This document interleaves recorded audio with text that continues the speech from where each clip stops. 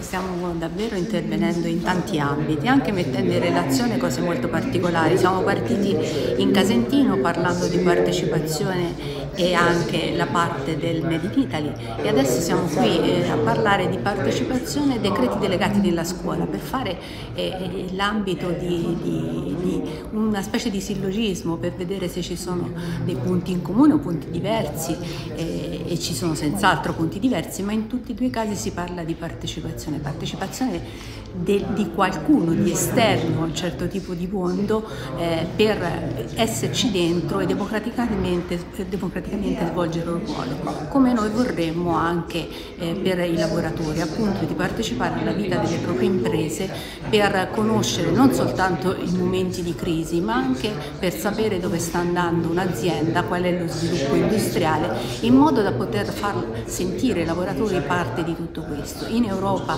già ci sono alcune alcune eh, in questo senso sono sviluppate alcune eh, situazioni, noi diciamo che c'è anche una modalità, ci può essere una modalità italiana per fare partecipazione e la CISL proprio per questo ha fatto una proposta di iniziativa popolare che in questo momento è valutata anche direttamente in Parlamento in audizione. La partecipazione è il fondamento della democrazia in tutti gli ambiti. Con la partecipazione possono essere ridotti termini fisiologici i conflitti, perché si può discutere prima, si può prevenire l'emergere di situazioni ingovernabili.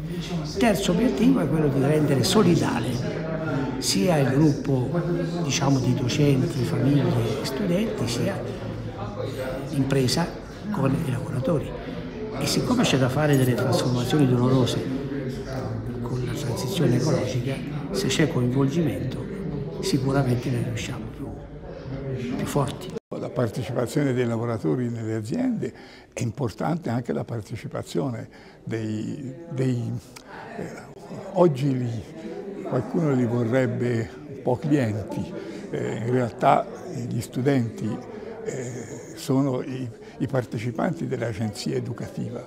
Anche la scuola ha bisogno del, della partecipazione dei, dei genitori e degli studenti.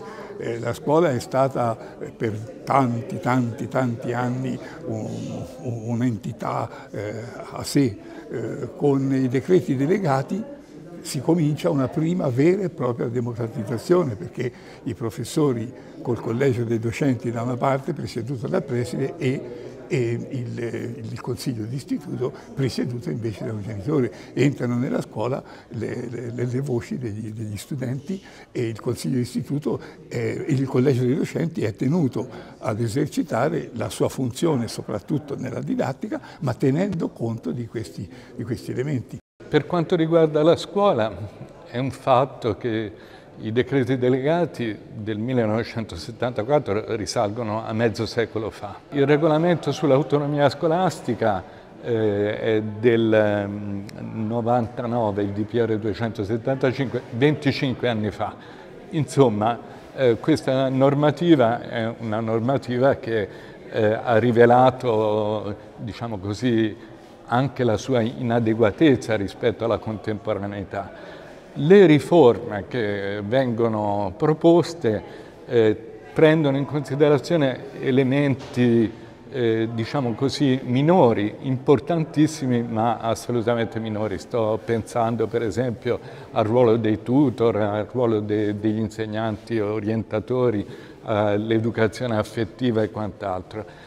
I decreti delegati invece riguardano il, sono il primum movens de, de, della scuola, eh, riguardano il funzionamento de, della scuola stessa.